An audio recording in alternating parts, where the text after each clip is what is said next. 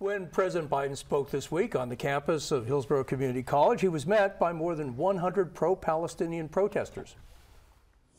The activists called for an immediate ceasefire in the war in Gaza. One participant told the USF Oracle that President Biden has facilitated and funded the genocide of over 40,000 Gazans, and he is complicit in their genocide. He added, We don't want him as our president anymore. Meantime, Governor Ron DeSantis said during a press conference this week that pro Palestinian student protesters should be expelled from their universities and that those who are international students should have their visas canceled. His comments came after police arrested pro Palestine student protesters at Ivy League schools Columbia and Yale who refused to leave their encampments on the campuses. Similar Similar protests were held this week at Harvard, MIT, and the University of Texas at Austin. Governor DeSantis said right now in higher education, particularly in those schools up there, the inmates run the asylum.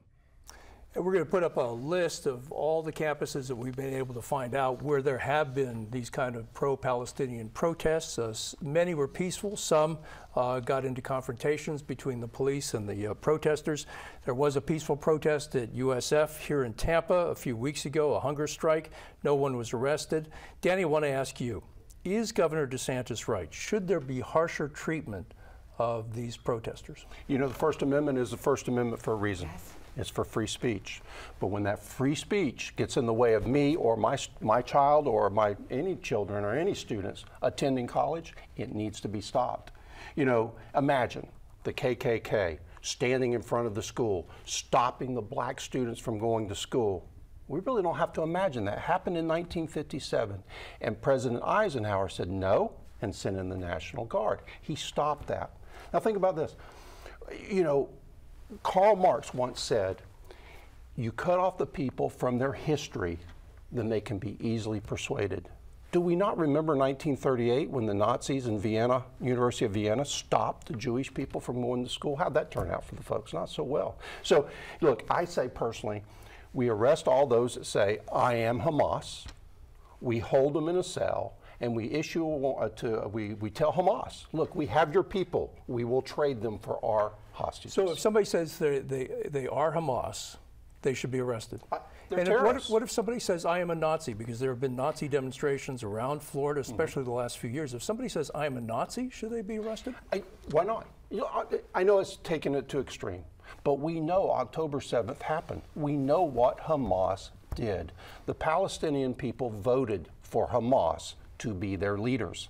So you can support Palestine, that's fine, but you're supporting a known terrorist organization. Nazis today are not necessarily terrorists. I don't. I, I yeah, arrest them if they're stopping people from going to school. You think Palestinian protesters on campus are terrorists? if they are supporting Hamas, I believe they're I part mean, of the problem. I, I, know. Can I say something yeah. really go, quick? Go so I, mean, I live on St. Pete Beach. I live on Pass-a-Grille, and I year before last. The Nazis started on Pass-a-Grille and marched all the way across Pinellas County, and they put their Nazi signs all the way across on bridge overpasses. They were everywhere, and nothing happened to them, not a thing. But because there's people practicing their First Amendment right and they're passionate about things, they're supposed to be arrested. Uh, and on top of it, I saw that DeSantis said that any immigrant, immigrant children and any immigrant students should be sent back. Lose their visa. That's quite nationalistic. And I'm not, uh, no, we are the melting pot as far as I'm concerned. We welcome the, you know, I, I, fully believe in the words that are written on the bottom of the Statue of Liberty. Send us your poor, your huddled masses. We're here to become one to of all different cultures. Yes. To assimilate so, into so American the history. protesters that were at the Biden event were marching down the street. They did not interfere, inter, inter, interject with anyone.